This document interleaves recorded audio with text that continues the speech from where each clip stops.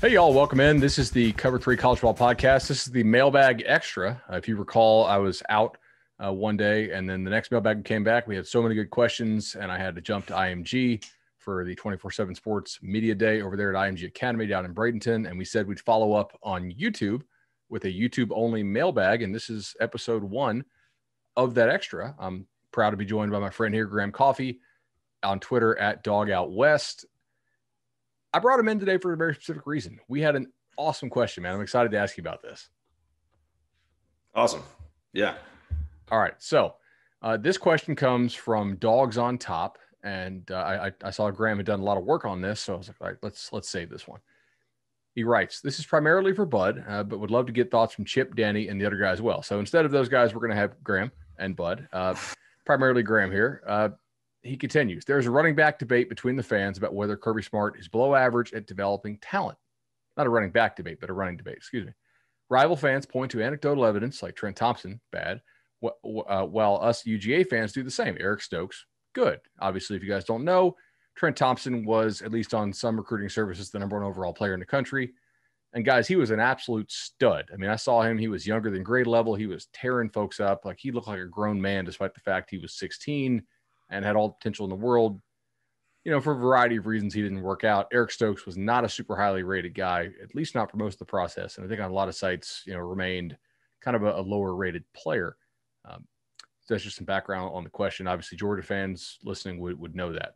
Uh, so he writes, has 24 7 ever looked into which coaches or programs produce NFL draft picks at the highest rate relative to their recruiting rankings? Uh, if so, where does Kirby rank on that spectrum? If not, do you think Kirby is above average or below average in this area? And which other coaches or programs do you think are best or worst at developing talent? We'll get into the second part of, of the, you know, which programs are the best or worst, maybe, maybe a little bit later. Uh, but I, I, wanted to pick your brain on this. It, does does Kirby Smart have a, a development problem relative to the talent he brings in? I don't think so. I mean, I think first and foremost, I feel like a lot of this debate got started after Alabama had six first round picks in this draft. And everyone's looking at the 24 7 sports talent rankings. And, you know, Georgia's Georgia was number one for last year, you know, that in terms of the the sum of their recruiting classes, they had the most talented roster in the country. And I think people are saying, well, why isn't Kirby Smart doing that? And, you know, I, I think A, it's a little unfair to compare him to, you know, probably the greatest coach of all time and Nick Saban. Um, but B, so I mean, first of all, the NFL draft is an event for outliers, right? There's 3,500 players that are draft eligible every year. Only 250, 260 of them are going to go into the NFL draft as it is. And so with Kirby, you know, I think everyone points to the the five stars, and I think there's a misconception within college football fan bases and and you know college football observers as a whole that if you're a five star recruit, then you should automatically be a first round pick. And I know that, you know, that's kind of the concept in, in that a lot of services, you know, they have 30 to 35 five stars because that's how many players are taken in the first round of a draft. But over, a, you know, like 38.5% of five stars will never go drafted at all. And only about 38% of them will ever be drafted in the first two rounds of the draft. And so I think with Kirby, you've got, you know, off the top, your, your five stars that have come in that have gotten through college. You had Mecole Hardman in 2016, Isaac Nauta, and Jacob Eason that same year. Eason transfers out to Washington. Um, Hardman's a second round pick. Nauta's a seventh round pick who probably came out a year early, but you know, that that still counts against Kirby, I guess maybe. But in 2017, Isaiah Wilson was a five star. Richard LeCounte was a five star. D'Andre Swift was a five star. Wilson's a first round pick. D'Andre Swift is the the first or second pick of the second round. LeCounte ended up being a fifth rounder this year after a motorcycle accident. And then 2018, we had Tyson Campbell, who was also a five star. Those are the only guys that have finish their careers that Kirby Smart recruited into the program as five stars under his regime that took over in 2016. Um, and Campbell was obviously a second round pick. But so, I mean, by that math, Kirby Smart is putting, you know, every five star prospect that he's brought in has been drafted so far that's finished their career and two thirds of those guys have been drafted in the first two rounds. So he's really hitting, you know, about double the average of of what the rest of college football is in that regard.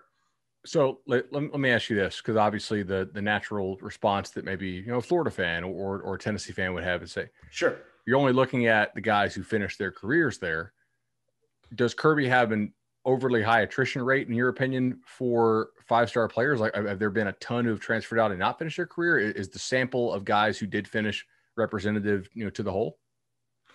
No, I mean that's that's a fair that's a fair point. I mean, you go back and look at uh, I believe the 2018 class, and you know, Fields leaves, Luke Ford, number one tight end in the country, ends up back in Illinois with a, a sick granddad. Um, you know, all these guys you start going through, and I, I do think that Georgia has had a lot of guys transfer out, but I also think you look at look at Alabama, and you know, there's been a lot of these guys that have transferred out as well. I think that that narrative really came with the Justin Fields transfer, and I think like that's the big thing that gets sort of you know re redebated or relitigated year after year after year, and even within the Georgia fan base, there's still a lot of controversy of you know Fromm and Fields.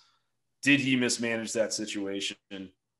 And I think because of you know the the Justin like you let Justin Fields transfer, you know that was the the hot take like sports radio, you know, topic for for anyone that wanted to talk about Georgia football for a while there. And so I think it became easy to, you know, sort of say Kirby Smart is mismanaging his talent. Um, there's only 22 guys that can start, right? And, you know, I mean, I think that's the, the tough thing. And it's like if you're bringing in recruiting classes that are this talented, especially now with the way that the transfer rules have changed over the last few years, like it's it's unrealistic to expect all these guys are going to stay. Uh, there there's going to be opportunity elsewhere for some of them, and I think it make you know it's it's understandable why they would take those opportunities. So, Graham, I don't know if you had a chance to look into this, um, but does the uh, does the pattern of development, which is actually pretty damn impressive, does that hold right. as well when, when you get into some of those, you know, upper to mid grade four stars? It does actually, yeah. So I mean, it, with the four stars, um, you know, I mean, and, and this is using that same kind of qualifier of have finished their career because I don't know how else you can really answer this question right now. But um, yeah, I mean, in 2016, basically everyone is gone from that class. That was Kirby's first recruiting class. The only guy that's left on the roster is Julian Rochester, and of the seven four stars that finished their career at Georgia Four of them have been drafted in Ben Cleveland, Charlie Woerner, Riley Ridley, and Javon Wims. And so, and, and there, you know, six three stars were in that class. One was drafted in Solomon Kindley, who actually left after three years. Um, but yeah, if you if you go through 2016, 2017, 2018, so basically of guys that have finished and didn't transfer out, you have 16 four stars. 10 of those guys were NFL draft picks, which is a, a 62.5% draft rate compared to 24.2% being the national average for for four stars drafted. So I mean, I you see a, a very high clip there. And I mean, as far as as the three star guys as well, uh, Kirby's getting about 25% of his three stars drafted, which the national average, I believe, is about 5%. So, yeah, I mean, he's, he's definitely outperforming the norms in college football. Um, I, think it's tough with this, right? Because like for every Eric Stokes, like you said, there's a Trenton Thompson, and you know, I, there's it's it's really easy to uh, kind of to pick out one or two examples instead of looking at the entire sample. And I think like that's that's what you have to do if we're going to make a statement of saying Kirby Smart can't develop. You know, maybe it's more fair to say Kirby Smart struggled to develop this particular player, but look at what all, all he did with all these other guys.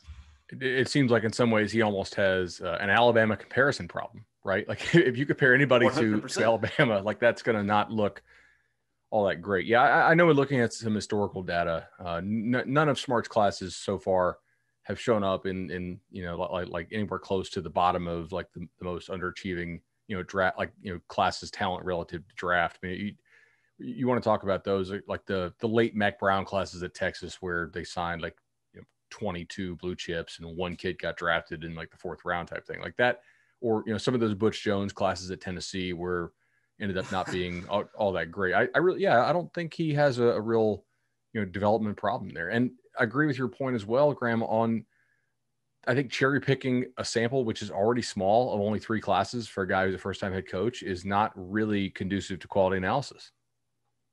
Yeah, 100%. I mean, I think time, time will tell, right? I mean, there's a lot to to come down the pipe for you know I, I, would assume Kirby Smart will be at Georgia for a long time and there's no indications he's going to stop recruiting at a you know a top three national class a year kind of level. Um, I, and I, I think it's it's going to be interesting to see right? Because I think these numbers will go down as, as over the next couple of years. Like some of these guys will matriculate that were higher rated recruits and you know judging by where they are on the depth chart right now probably won't won't be NFL draft draft picks, but still, I think that you know he just had nine guys drafted last year. It's the most that Georgia's ever had uh, in a single draft. So it's it's odd to me that this question has come up kind of everywhere in the college football landscape. Like lately, it, it seems like this has been a hot topic of conversation, and seems strange that would happen after the most successful draft the program's ever had.